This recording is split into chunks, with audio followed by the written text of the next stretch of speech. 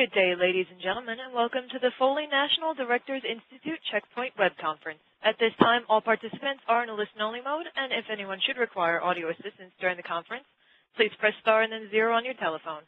As a reminder, this conference call is being recorded. I would now like to introduce your host for today's conference, Mr. Mark Plitka. Mr. Plitka, you may begin. Thank you. I would like to welcome everyone to the first session of our 2012 National Directors Institute web conference series. We're at the beginning of our 11th annual NDI season, which program we started in 2002. As with our NDI programs in years past, we are looking forward to sharing the insights and experiences on co corporate governance issues that we think matter most to you. The goals and objectives of our NDI program have always been to provide practical insights and useful takeaways to directors, executives, and boardroom advisors. Materials for our previous NDI webinars and other sessions, sessions, including PowerPoint presentations and audio recordings, are available on our dedicated NDI website, which is foley.com forward slash NDI. Information regarding future NDI webinars sessions will be found on our NDI website.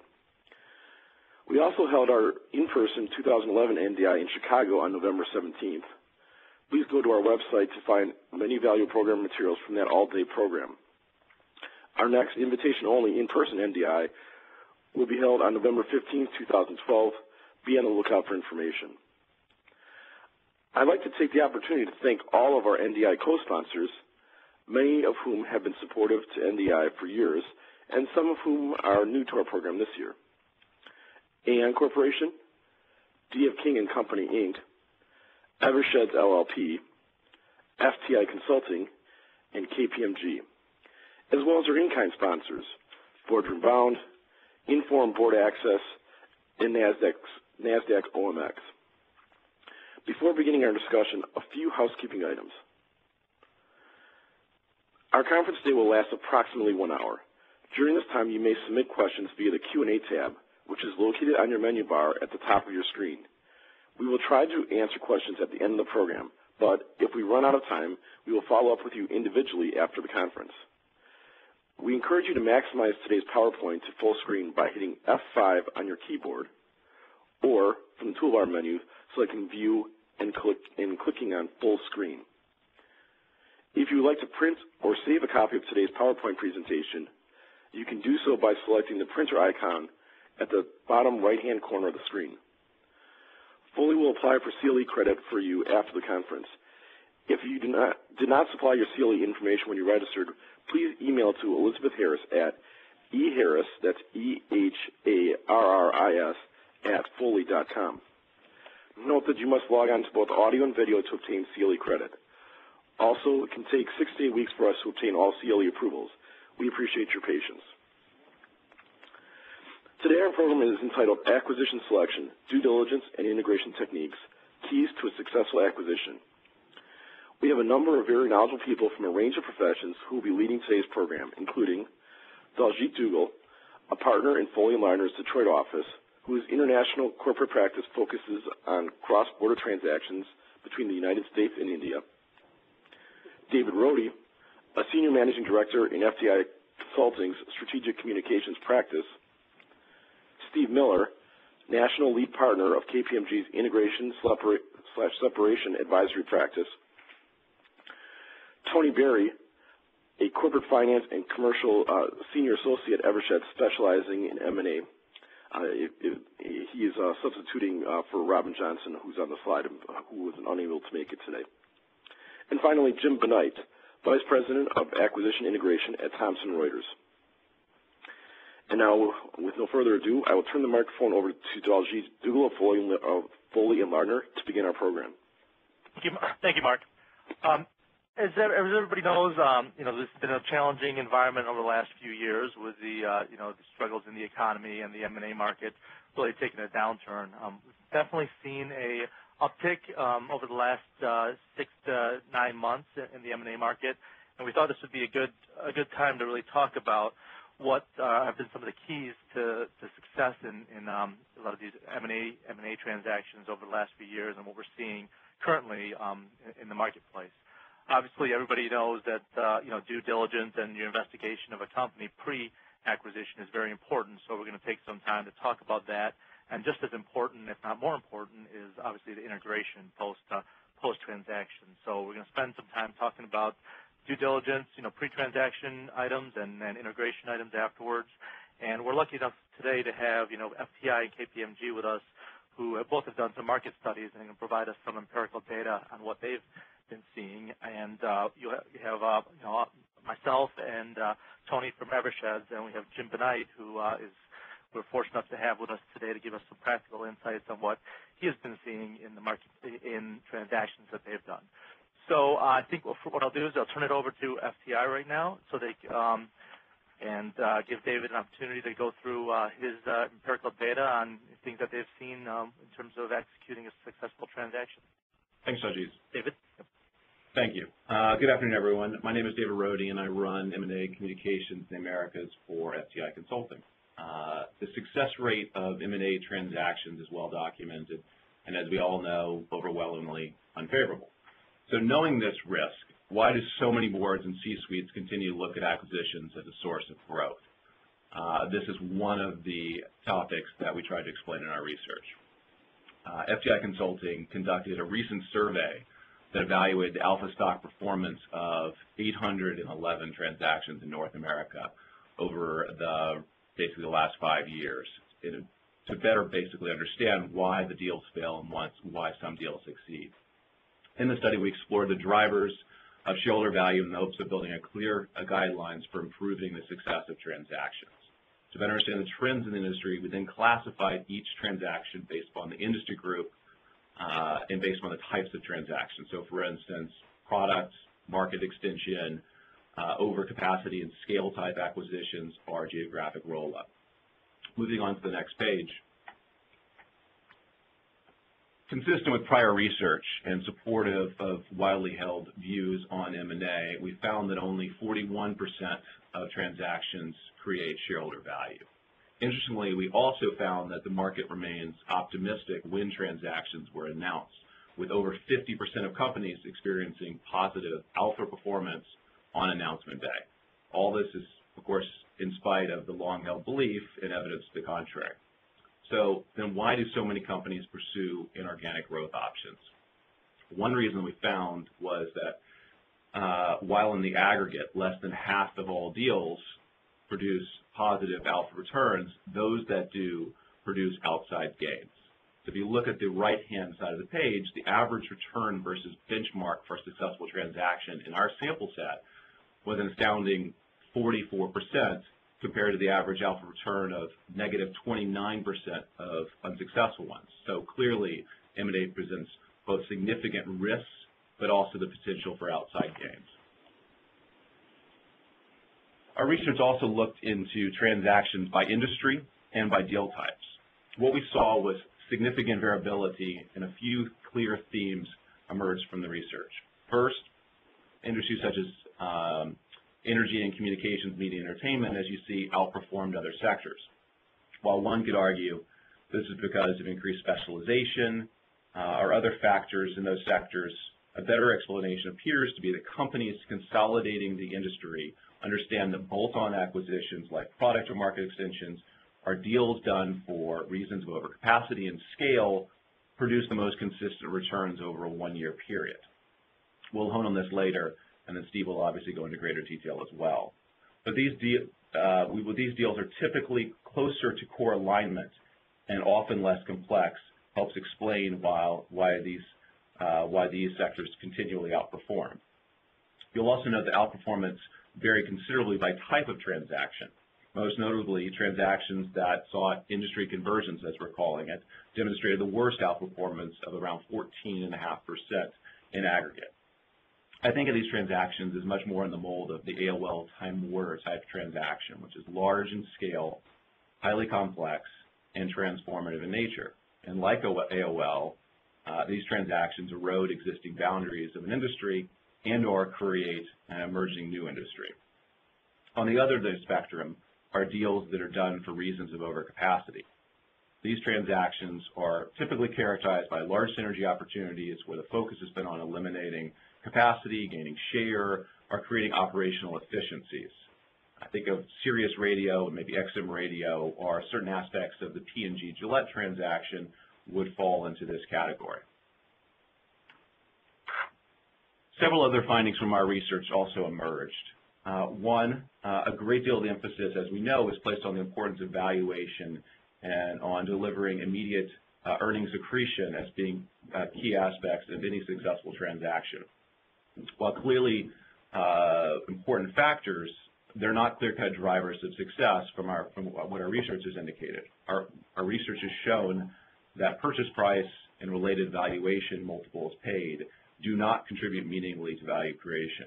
When you look at the multiples, the average valuation paid was around 13.5, 13.7 times EBITDA. Uh, just for everyone's notation, this is a pure number. It doesn't include pro forma estimates of synergies or any takeouts, um, often which are often reported in transactions uh, of this type. We also found that among transactions that generate a positive outperformance, the median valuation was actually higher at 13.9%. Uh, thus, companies that perform better actually paid a slightly higher premium for the deals. Uh, that said, the correlation was, in fact, relatively insignificant. I believe it was around 0.7 uh, correlation, so it's relatively insignificant. We also found that uh, synergy execution to be proved to be one of the most important factors.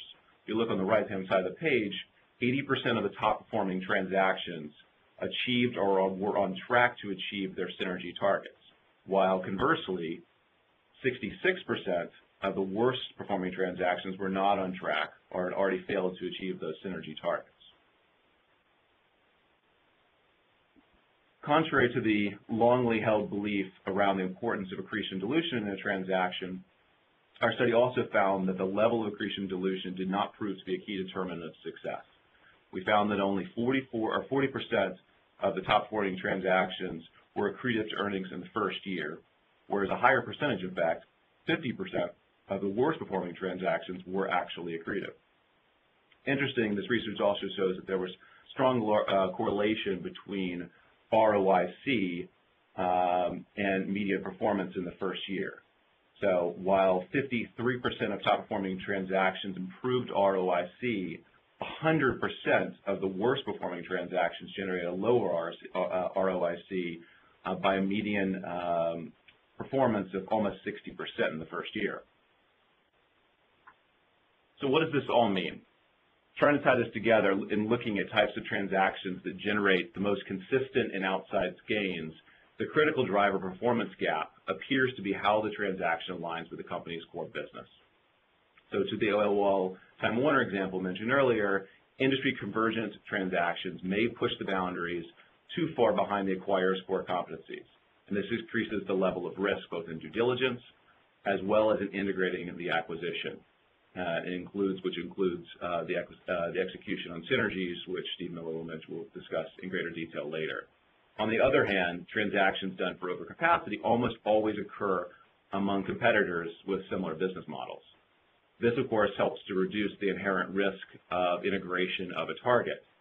This hypothesis also holds up if you look at um, geographic roll-ups in market and product extensions, but albeit it's not quite as clear-cut. Arguably, geographic roll-ups are done in a very similar business, uh, where there's already alignment in the core competencies. This is less true of a bolt-on acquisition of similar products, and I think of this as being someone a uh, transaction like HP's acquisition of Palm. So in summary, from our research and advisory experience, we've identified five key characteristics to successful mergers. And we've looked at this from a macro perspective, um, almost from a macro perspective and a point in time perspective, almost like a balance sheet, while Steve will be taking much more of a almost a P&L look at the trends over time and a deeper dive uh, specifically into synergy analysis. First and foremost, the acquisition process must be incorporated into overall growth strategy and tailored to fit the company's specific objectives. Fundamentally, uh, employees need to understand where the business is going if they're going to make better deal decisions. Second, a robust due diligence process will evaluate the risk along a number of dimensions. While synergies are often the easiest, well, cost synergies, excuse me, are often the easiest to recognize, the validation of revenue synergies shouldn't be overlooked as revenue synergies often serve as a strong indicator of strategic fit as companies too often chase cost takeouts uh, through the elimination of capacity. Frankly, it's also indicative of um, a company's willingness to pay and it, potential non-recognition of top-line synergies often mean that there would be deals left on the table. For the third and fourth point, it's critical to develop a communications infrastructure to effectively manage any integration process. It's important to celebrate wins. It's important to report on the process and to drive greater alignment and corporate sustainability in a period of heightened change for many, many stakeholders, particularly employees. This can be done in a number of ways, like establishing an integration leader, documenting key integration principles such as embracing the best of both uh, companies, something that P&G and Gillette embraced, and reporting on all process milestones across all stakeholder groups. Lastly, we found that once the deal is announced, slow and steady does not the race win. A lack of communications and failure to make swift and certain action often will result in putting synergies at risk and damaging the long-term company morale. So with that, thank you for your time, and I will turn this over to Steve Miller. Thank you, David. Um, really insightful results and a great survey. We, can't agree more with your points on for executing a successful transaction. So what I'd like to do is over the next 10 minutes or so is share the results of KPMG's sixth global survey to examine M&A deals. And since our first survey, which covered the 1997 to 98 time period, we've seen some pretty interesting developments transpire to our newest survey, which covered 2007 to 2009. Um, as others of us on the call know, this was a period of transition. You know, it spanned the final months of the M&A boom in early 2007, the credit crunch of 08, and the global recession in 2009.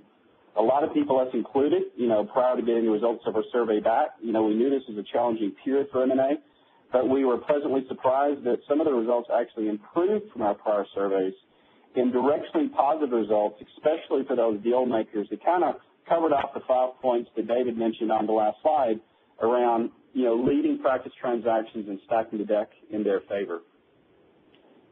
So next slide, please. So in terms of just a quick overview on our survey objectives and methodology, and one thing we wanted to point out as we get into the numbers is there's some very slight differences in the quantitative output of the FTI survey we just went over and some of the quantitative output we'll look at in the KPMG survey. But there's some explanation behind that. In, in, from one perspective, it covered a different time period. The 2007 to 9 time period that we addressed is a subset of a broader view that FTI took. And also, it was a combination. We had 160 interviews directly with corporate directors such as yourselves, and those results were factored in.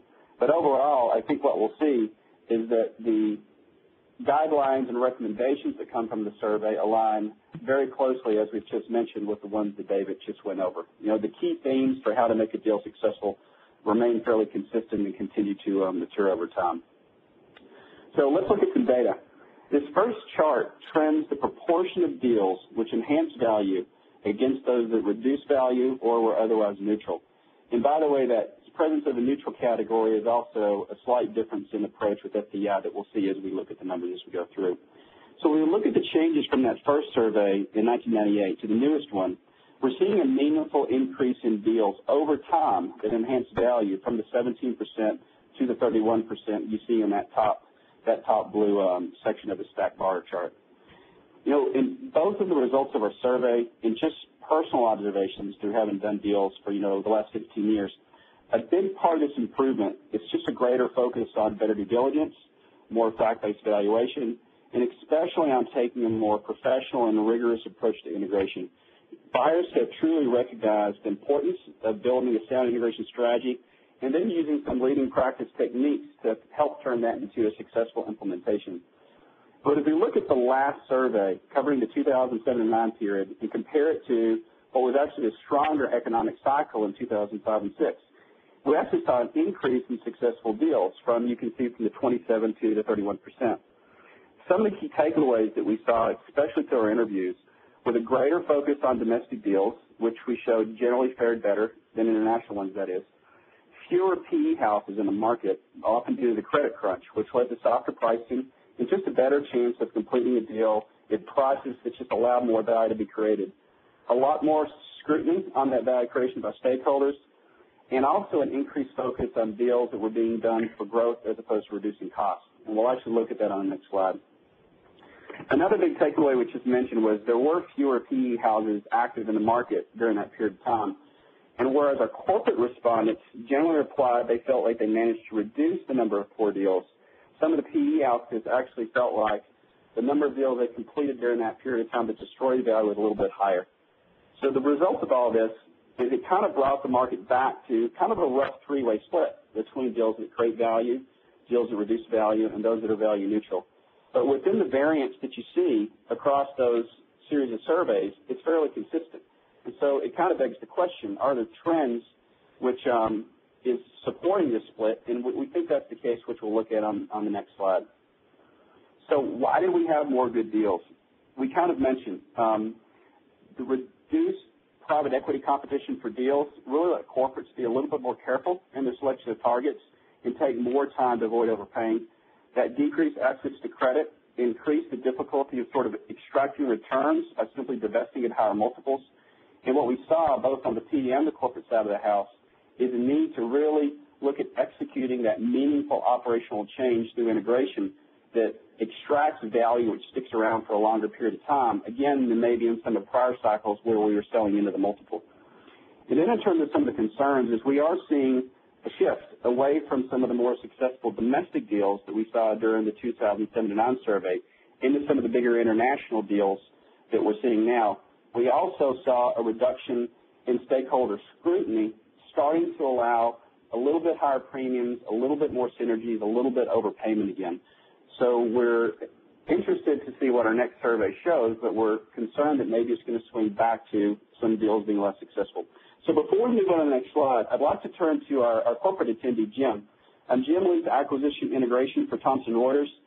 And um, Jim, with respect to kind of the tightening of the credit markets in particular, have you seen any difference in the competition for acquisitions? And was there any impact on the degree to which you had to price synergies in your valuations to win?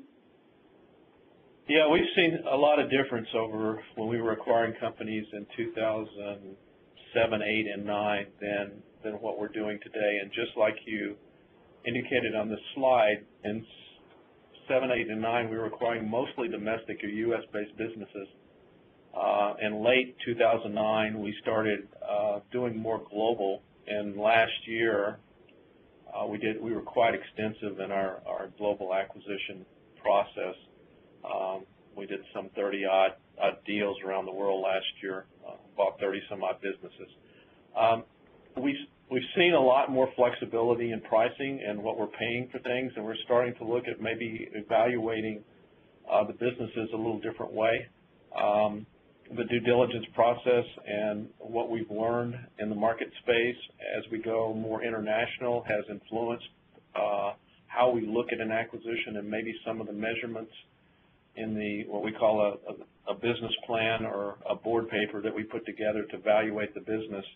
Uh, it is a uh, ex- ever exchanging thing that you have to do. You can't really stay, say that you can go to an acquisition and, and understand that you can do the same thing over and over again. Um, it's it's an art form along with uh, science. So uh, we've seen, as we said, I've seen a lot of difference in the way we've evaluated deals now than we were doing it a couple of years ago, and it will change again. Can't agree more. The deal market definitely moves in cycles, and um, it'll be interesting to see the results of next set of surveys from us, FTI, and others. So kind of moving to our next slide, you know, we want to ask what was the primary rationale for some of the deals in this particular time period. And what our survey showed is growth was the, the, the biggest factor by far. Um, the responses show clearly that companies had come through their cost reduction phase. They're looking for opportunities to develop new markets, increase market share, boost revenues. Almost half of our respondents, around 48%, cited increased market share as a primary deal driver. Next highest was 35%, pointed to geographic growth. Geographic growth may be similar to what um, Jim just shared with Thomson Reuters. And 27% on horizontal diversification or other strategies to, to expand their growth sectors. So Jim, again, if we can turn to you, you know, without sharing obviously anything proprietary about Thomson Reuters strategy, do these results at all align with some of your goals some, for some of your recent deals? Uh, no, they actually line up extremely well. Um, those three things, although in, a couple of them might be closer than the other ones, were exactly the bottom line as to why we were acquiring businesses over the last several years. Um, I want to go back to the, the statement that was made about um, having a, a refined and very succinct strategy before you start acquiring. That is something we do religiously, and we evaluate it year by year uh, and go back and present and get high-level approval on the strategy uh, before we, we go acquiring businesses uh, every year. So I think those three things that you've got boxed in here, the top three balloons, uh, pretty much align very well with, with our, our thought process in acquiring companies. Perfect. Thanks, Jim. So we, kind of talked about what was the goal behind some of these deals, and again, a heavy focus on growth. Now let's, on the next slide, let's look into how companies evaluate the pricing for those transactions. And we see a little bit of a difference here from the perspective of that we focused on growth. The focus on that from the diligence perspective wasn't quite as clear when it came to pricing. And what we showed is though growth was the major driver, the highest amount of attention is still being paid to the cost element. So we look at the numbers. Respondents reported an 81% focus on cost reductions for the growth deals, with analysis of the growth itself placing second at 64%. And what we feel like we're seeing is that corporates continue to remain skeptical of putting revenue in the pricing model. But, um, you know, 10 years ago, the same view was taken of cost synergies. We're starting to see an increasing amount of sophistication in the approach to building out your revenue synergies, but as the survey shows, the, the focus continues to be heavier on costs. So again, Jim, we can turn to you. I mean, you've done a lot of deals over the years where there was, you know, more or less pressure to price in the synergies in order to support the valuations. We kind of compared, you know, our survey period versus as credit is starting to get, you know, more accessible again. Could you share any insights from your perspective into the difficulty of estimating value and then those executing costs versus revenue or growth synergies? Which one do you find hardest to estimate and also execute? Um, actually, I'm going to say both. Um, and there's a, and here's my reasons why. We, in some deals we did several years ago, uh, depend, and this once again is depending on size. If you do a small deal or or a large deal, your direction may be changing as to what you focus on, uh, depending on the strategy of the deal, what you're buying, um, how large it is, whether or not you're getting into a market you've not been into before, uh, or not only a domestic market but also a global market you've not have been before.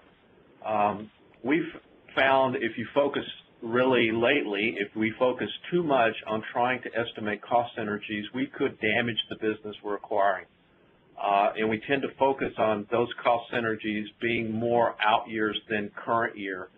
Uh, what we found also by doing in, in the due diligence process, a lot of times, or even the people that are doing the evaluation of the business, uh, don't always understand what it takes to operationalize some of the decisions that are made in these synergy meetings or synergy discussions. Uh, because when you do due diligence, sometimes maybe all the people that need to know aren't brought into the deal, and there's really good reasons for that.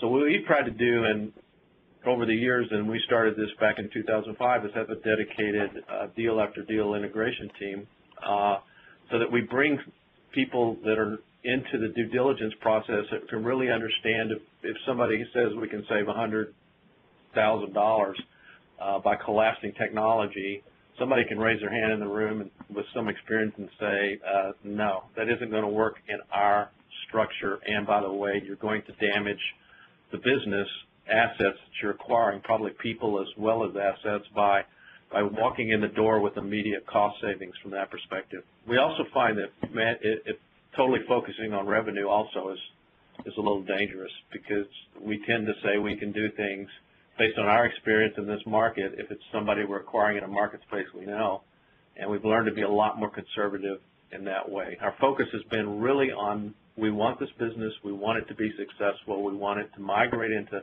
Thomson Reuters and be successful. That's why we're acquiring it. So in the first year, at least, we try not to stress the operation out too much and give us an opportunity to really know, really learn the business, learn the assets, and leverage them appropriately within our company. Perfect. That's helpful, Jim. Now, what we want to do next is actually look into some of the diligence the respondents did. And um, I think this slide, and the next one, will be interesting and from some of Jim's comments. Now, when we when we look at where companies were focusing their time, the vast majority continues to be on financial diligence, tax and pension. And even though companies were reporting the reason for the deal was growth, and the you know the, the implementation of that growth is typically through your operational changes. When you look at where the diligence was focused, it was your traditional financial. Let's look at and pick apart the balance sheet, you know, in, in the profit and loss statement. Much lower level of focus on the operational, strategic, IT, and human resources areas, which really speaks to a successful integration. And then when we look at the next slide, in terms of the amount of synergy analysis itself that was done at all prior to completion, 44% of our respondents um, reported none or very little, only 34% a reasonable amount, and just 22% they said they put a whole lot of focus on it. So Jim, if we can ask you, I mean, as a global integration, I mean, you're the guy that's responsible for taking the deal from the doing the deal team and operation delivery, you know, making it successful. So to what extent do you ever find yourselves, or, you know, what's some of your approach on making sure that some of that operational HR and IT diligence that is so critical to executing the deal is being done you know, early in the deal deal stage? Well, we may be a little different than most companies in that we don't buy manufacturing companies. We don't have cars or or, or manufacturing plants that we acquire. We acquire software and people. So we actually spend a lot of time during due diligence on the whole HR question. Um, and so, and we, because we're a technology company, we spend quite a bit of time on the um, technology phase of it too, because it's really people and technology that we acquire. And yes, we have facilities, uh, but we require leases. We're not, we don't usually like to buy a facility. Um, but we've learned that because we're so people focused, if we don't have enough time spent on the HR piece, we could have significant assets and intellectual property in the in the form of a human being walking out of the business due to frustration after close or the way they were treated during the due diligence in the deal process.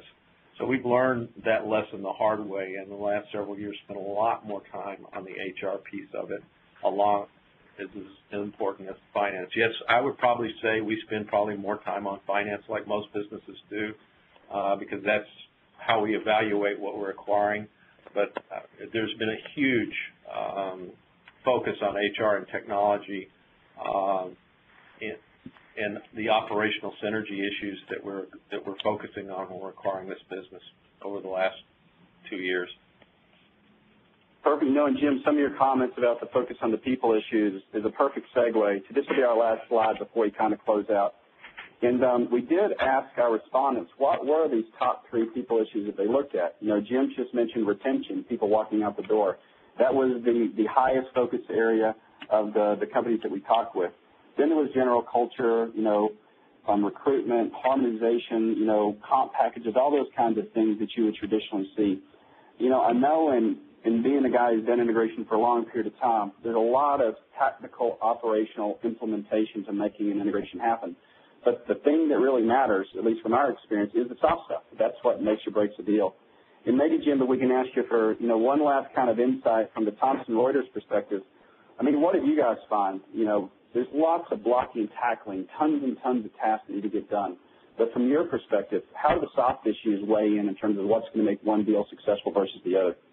Well, I think they're huge. Uh, as, as I tell my my team, and my team is diverse. While I have people on my team that you could say were project managers, uh, I look for skill sets on my team that are that have more business experience and relationship management experience because we when we walk in the door as employees of Thomson Reuters, we we're so we feel so strongly about that this is a good company to work for that we want the people that we're acquiring to see that in everything we do, how we behave in meetings, how we treat them, how we address them, how we handle their um, emotional issues, how we deal with change in their company because we're basically changing almost everything that they've been used to doing and are comfortable with. Uh, we focus a lot on, on the soft processes. Relationships and an integration and an acquisition are extremely important to the as important as the numbers, I think, to any integration or acquisition activity. If the culture fits within our existing culture and the relationships we create during the due diligence process as well as the integration process are done well and it's a great experience. Is it totally happy? No. There are going to be issues. You're going to have to deal with it. And that's where those relationships and the ability to communicate and, and deal with, with people through this process makes has such a non-measurable but very effective impact on the outcome of any acquisition, in my opinion. Thanks, Jim. And to, um, to kind of close out this, this um, portion of the discussion, another top five lessons for corporate, and I think we'll see a very similar alignment with, um, with what FTI shared a few minutes ago. You know, at, the, highest level, just really an importance on tracking and analyzing and reporting on the success of, we, we comment here on revenue synergies, but it's really synergies overall, just around the market perception of the value drivers and making sure it's aligned to deal rationale. And then Jim mentioned in their process, you know, they always look back and evaluate how did the deal perform relative to the goals that were set out when they decided to commit the capital. The second point is it's just a new approach to due diligence and planning with more emphasis on that future growth, doing that strategic and commercial analysis. You know, a plan for a shift from local deals to more multinational deals. We mentioned our survey showed that domestic deals tend to have a little higher probability of being successful. But for some of the growth, especially globally, we are moving into multinational deals again. So just make sure your deal processes are set up for it. Don't ignore the people issues. We just talked through that. It's so critical to focus on human resources concerns. And then the last one is institutionalizing your transaction processes so you can learn from prior deals. And we're seeing an increasing number of companies that are building out M&A playbooks or integration playbooks, really making sure that they don't reinvent the wheel every time they embark on a, on a new transaction. So before we close out, Jim, any other lessons you want to share just from your years of experience doing deals, you know, key takeaways that weren't reflected by FTI or these points here? Uh, I think uh, in the due diligence process, what we've learned here is due diligence is a skill. Uh, it is not something that you can send somebody to that's never done this process before and expect them to come away with what you need in due diligence, it's not what's, in a lot of cases, it's not what's said, it's what's not being said. Um, even though a lot of times it sounds really good, if you, you can get wrapped up in the, in the sales pitch and not hear what's really going on. Um, as we've indicated, while you can run all the finance numbers and crank the numbers, it's the people that you're buying and the people will uh, be the ones that perform what you're trying to estimate you can get out of the acquisition. So people, evaluation of people and the human capital issue is extremely important. You can have, you can have a great detailed integration plan. Uh, you need to customize it for what you're acquiring. Don't expect a $3 million acquisition to go through, sit down and work through with you uh, a 10,000 step integration plan you'll you'll kill them, you'll kill yourself. So you need to be able to understand what it is you're acquiring and customize your integration plan, your people plan, your process plan based on on the deal and the deal size um, to be successful. And lessons learned after every deal, sit down, have a conversation with your team, with the people that worked on the deal. What did you do right? What did you do wrong? And don't just make it an exercise to check the box off. Learn from it and reevaluate to continue to prove. This is, as I said, uh, there's a blocking tackling piece of this, and we've learned there's an art form to it. The art form you learn through repetitiveness. Uh, so hopefully you can have a dedicated team that works on this all the time. Uh, but it is very engaging. It's an exciting thing to do. A lot of people want to participate in it. Um, and so learn, you know, from your mistakes and, and grow through it. it. It can be done. You can be very successful at it. Perfect, Jim, and thanks again for participating. You know, um, it's always good to hear from the doing the deal side of the table and the issue of the advisors. So thanks so much for your for your insights. I think now we're going to talk a little bit about some best practices for legal due diligence. Thank you. Thank you.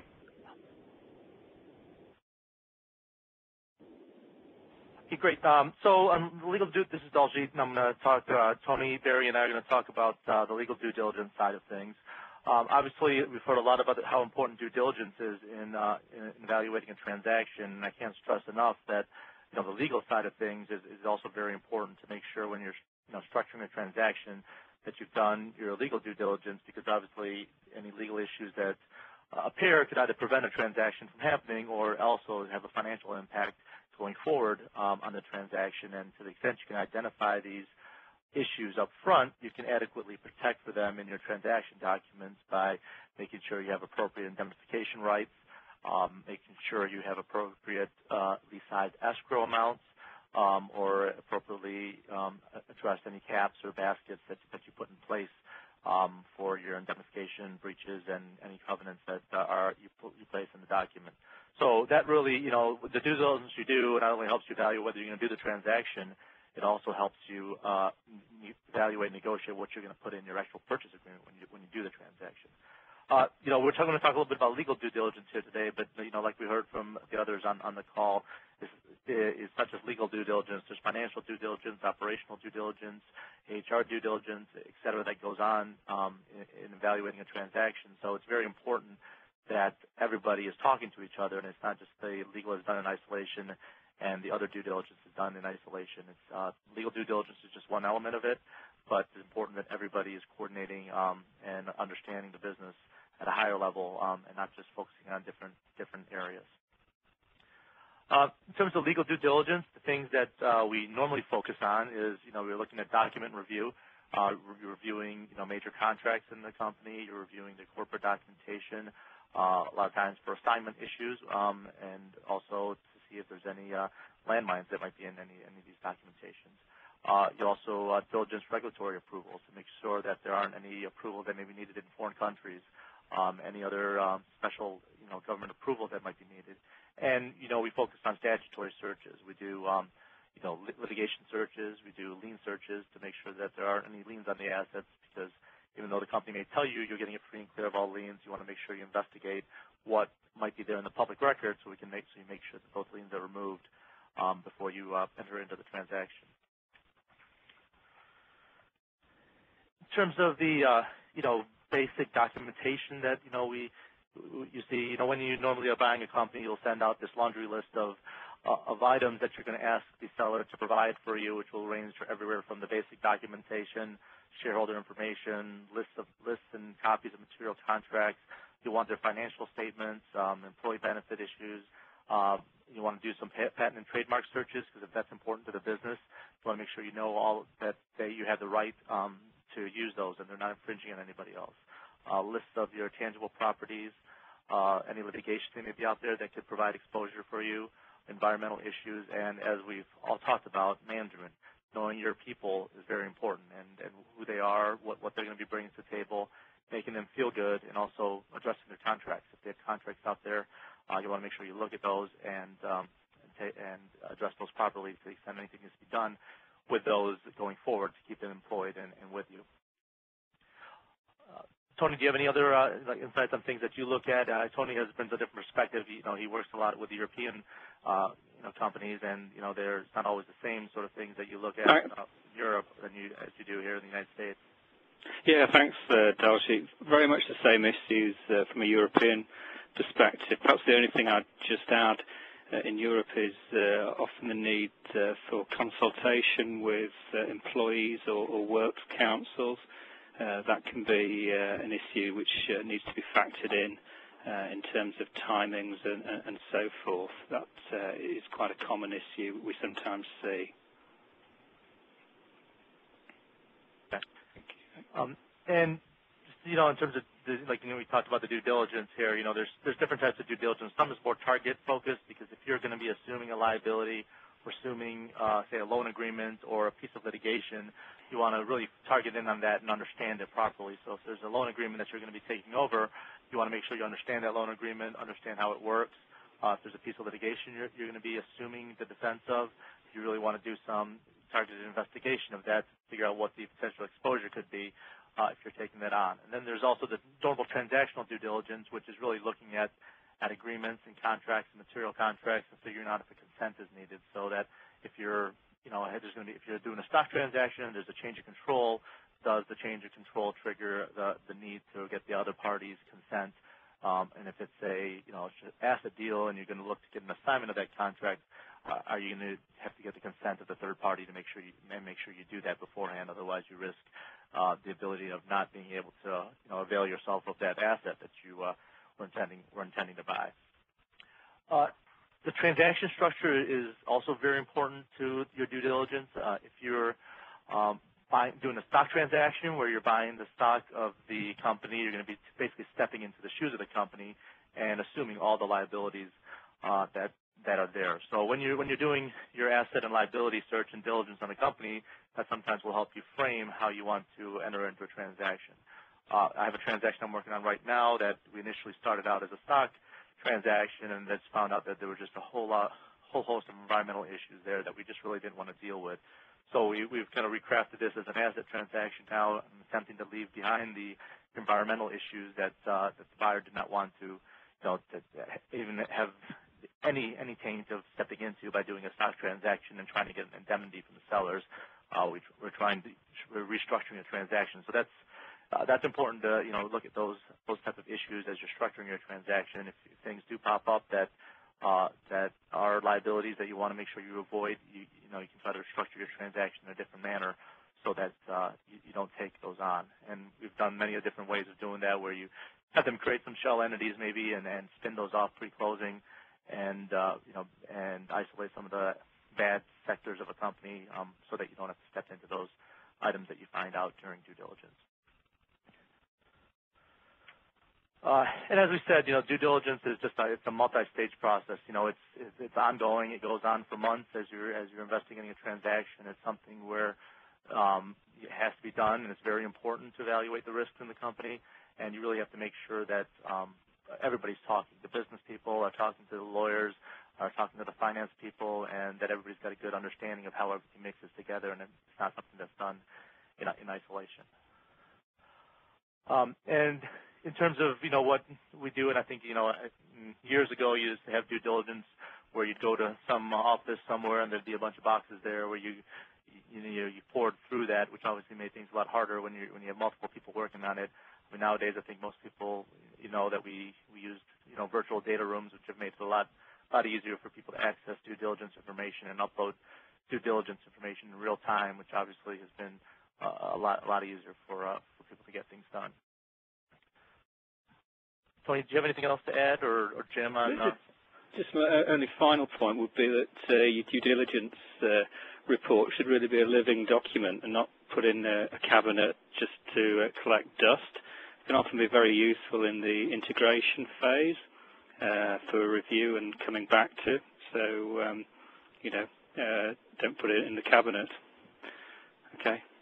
Yeah, this Jim. I have a couple of comments to make too. Um, we've done at Thomson Reuters quite a bit of international acquisition, and Steve probably knows this too. Uh, we did a lot in Brazil last year. Um, it's a very interesting part of the world for us right now.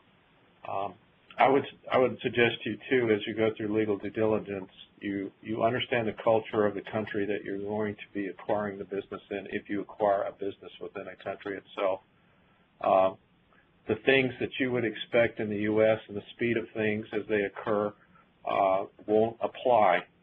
For instance, when you're in Brazil, the time has no uh, value to them. It's it happens as it happens, and it, it causes a lot of frustration to people in the U.S., for instance, who are used to operating at the speed of sound on things. Also, I said in a due diligence meeting um, in Sao Paulo last year where we sent out a formal due diligence list, and the seller said, "Oh yeah, we'll, we have that. We'll bring it to you at the at the meeting at the law firm." Uh, they came in with five grocery sacks full of papers none of which had been tabbed or anything, and we had to sit as a, we asked a question on the diligence questionnaire, and they searched through five grocery bags to find a piece of paper to satisfy that. Also, you get a lot of things if you're dealing, trying to deal with uh, English people in the due diligence process, a lot of things gets lost in translation. Even though you get trans, they get translated to English from another language, there's a lot of content you miss. Um, so it's very important that you have, if you can, that you have somebody representing you in that country that's that's from that country and actually speaks the language and can help translate what's going on. Great. Thanks, Jim. Uh, the last thing we'll talk about, which obviously is one of the most important parts, as we know, of an, of an acquisition, is the integration and uh, some of the things. And I think we've talked about a lot of this before, but just to highlight some of the things that are really important as you're integrating a business. Um, obviously, you know, most of the once you've acquired the company, I mean, it's, it's going to hinge just how they're going to succeed or fail based on how you you know operate the company going forward as a combined entity, and the integration is obviously the key key to it. Um, because you have to you have to execute that plan. I mean, you can have the best plans in the world to to, to uh, integrate a company, but unless it's executed properly, you, you're, you're going to be set up for failure. So obviously, you need a good plan and a good vision, but also you need to execute that properly. And you know, I think some of the things to to focus on, you know, when you're going, you know, you're you're uh, integrating a company is you don't want to make you want to make sure that you don't disrupt disrupt the company right away too quickly. I mean, you want to keep some of the finances in play um, you know, your customers, you know, you're not ruffling feathers with your customers. I've seen some situations where after a company is acquired um, with some aggressive buyers, they're often in front of their customers asking for price increases and asking for changes in terms right on day one before they've even, you know, settled into the business. And obviously that's not going to be well received by them. Changing suppliers, you know, and ruffling feathers with suppliers right away. Obviously, you've got to manage your business in the best way possible, but, you know, on day one and right away to start you know, rocking the boat with some of your suppliers and customers probably isn't the best the best thing to do. And then obviously you got to take care of your employees because the employees run the company, and you know you got to make sure that the you're not you know downsizing right away. You're not doing having a lot of disruption where everybody's going to be afraid of their job and looking over. When, when a new somebody new takes over, everybody's obviously afraid. Is there going to be some you know transition and, and changes in the employment structure? So to, to extent you keep your employees engaged and uh, in, in the game uh, not fearful of the job, it's obviously going to help with your integration plan. Um, again, you know, involve the people. That's something that I've seen that's been very successful, where you, you empower the people from day one and let them know they're a valuable part of this organization and that they're going to be involved in the transition plan and they have some constant communication about what's happening and why things are happening. They feel like they're invested also get feedback from your from your employees and, your personnel as to how things they think how they think things are going and have them have the ability to ask questions about what they see and what's happening as part of the uh, the transition. Um, and obviously you want to you know balance all that with the consolidating consolidating uh, items um, in an acquisition to make sure you have the running the best business and being the most efficient. So obviously it's a balancing game, but I think you know one takeaway I think we've heard from everybody here is that the people are important, and you got to make sure your people feel involved with what's happening and know what's happening, so that they can um, be motivated to do the best job they can. They can make sure your integration works properly. Um, Jim or Tony, do you have anything uh, else to add on that area? That area? No, uh, this is Jim. For the sake of time, I, I think no. I think you pretty much highlighted most of the things that we we highlighted through the rest of the, the meeting. Nothing further from me either. Uh, thanks very much. That's all I had. Uh, um, okay, Daljit. Um, this is Mark. Um, if there's nothing else from the uh, from the panelists at this time, I'm going to thank all the panelists for your excellent insights regarding the keys to a successful acquisition. If you uh, have any follow-up questions that you'd like to ask the panelists, please feel free to uh, to reach out to them. Their contact information is uh, for each of them is on the slides uh, that you can see it right now. We hope you enjoyed today's presentation and ask that you please take 30 seconds to participate in our brief online survey at the conclusion of this call. These surveys are very helpful to us in ensuring that our NDI programs are providing you with practical advice and recommendations and developing ideas for future NDI topics. Thank you again for attending our NDI, and we'll talk to you next on May 23rd, 2012. Program details will be announced soon. I will now turn the call back to our operator.